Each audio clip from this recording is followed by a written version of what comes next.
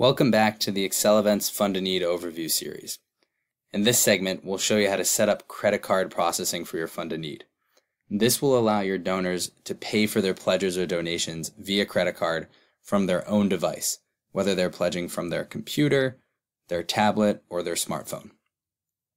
So first we'll go to our event checklist. The next step we'll see here is Activate Payment Processing. We'll click on that. You can also find this page in the Settings Credit Card Processing section of your menu. From here, you'll see full instructions on how to set up credit card processing with either of our two credit card processing partners, Stripe or Square. We have more information in our Help Center on how to set this up, um, but it's very simple and takes under 10 minutes to set either of these up, and then you'll be ready to start accepting credit card payments from your donors.